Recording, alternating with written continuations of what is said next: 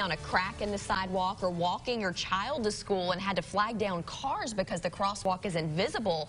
Those are just some of the issues a central Arkansas city is trying to fix. KARK 4's Hillary Hunt's in the studio tonight. And Hillary, with many kids walking to school, it sounds like it could be just basically an accident waiting to happen. That's right, Bob and Ashley. In Conway, as you know, a lot of kids walk or they bike to school, and it's been a bumpy and at times dangerous journey. But thanks to a few outspoken parents and money from the city, that's about to change. I can't tell you how many times I've almost fallen and broken my ankle. Or had to walk along the street. We should make it safe for our kids to get there. Kara Evans and her two year old son walk this stretch of road near Prince Street daily.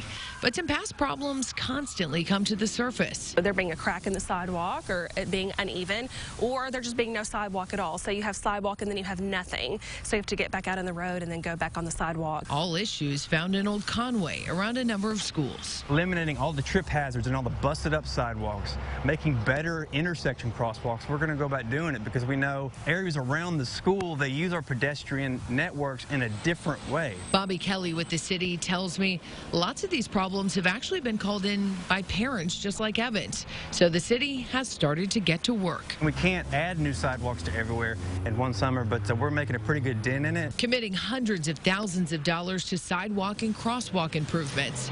And if you want to smooth over some problems, Evans says just pick up the phone. Speak up, have a voice, contact the people that are in charge of things, and make a difference.